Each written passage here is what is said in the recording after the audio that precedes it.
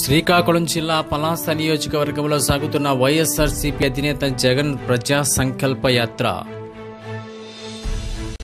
YCP నేత YV సుబ్బారెడ్డిని కలిసిన చీరాల వైసీపీ నాయకులు డాక్టర్ వరికుడి అమృతపాణి డాక్టర్ గుంటుపల్లి సుబ్బారావు. రావాలి జగన్ కావాలి జగన్ కార్యక్రమంలో చీరాల వైసీపీ ఇన్ఛార్జి ఎడం బాలాజీ. ఉద్యోగం ఇస్తామని మూడు లక్షల రూపాయల డబ్బులు తీసుకుని మోసం చేశారని విశాఖ జిల్లా గోడిచెర్లలో ఎమ్మెల్యే వంగలపూడి అనిత పాదయాత్రలో యువకుని ఆందోళన.